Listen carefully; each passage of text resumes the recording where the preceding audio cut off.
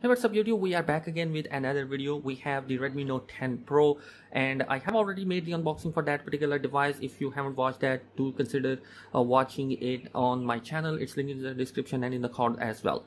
So basically in this video we are going to discuss how we can take screenshot on the MIUI 12 device and it is going to be absolutely simple methods which you can use in order to take the screenshot so uh, the first method is really really simple. You just need to slide down your notification bar and in here you will find an option for screenshot. Just tap on that and you can easily take the screenshot on your device so this method is really really simple. The other method is going to be uh, by pressing down the volume button and the power button simultaneously and you can take the screenshot on your uh, Redmi Note 10 Pro device or any device which is supported by MIUI 12 I'm just going to press the button simultaneously. Here we go. And you can see that I can take the screenshot by pressing these two buttons quite easily uh, okay this is the second method. The third method is going to be really really simple as well. You just need to uh, slide your three fingers in order to take the screenshot. Here we go.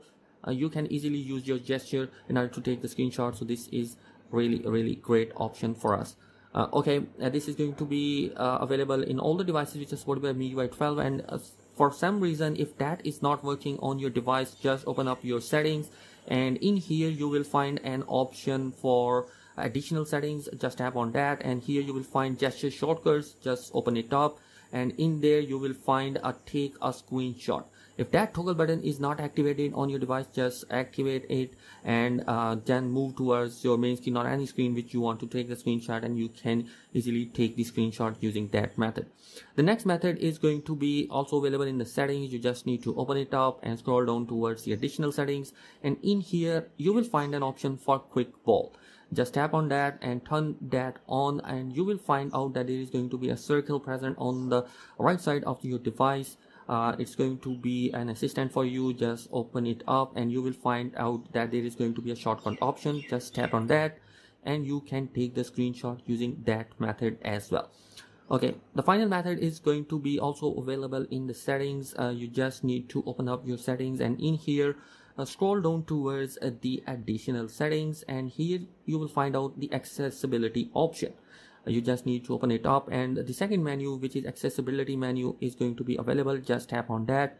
You just need to turn it on and you will see that uh, there is going to be a button that is going to be appear on the bottom of your uh, menu and you just need to tap in here and you will find out that there is going to be a screenshot option here. You can use that in order to take the screenshot of your device so basically these are simple methods through which you can take the screenshot on your device and also you have the option to edit these screenshots which you have taken.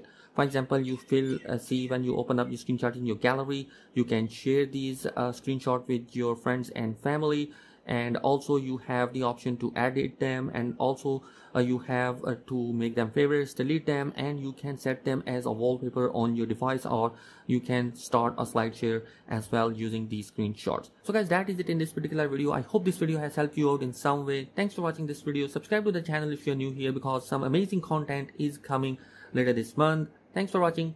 Peace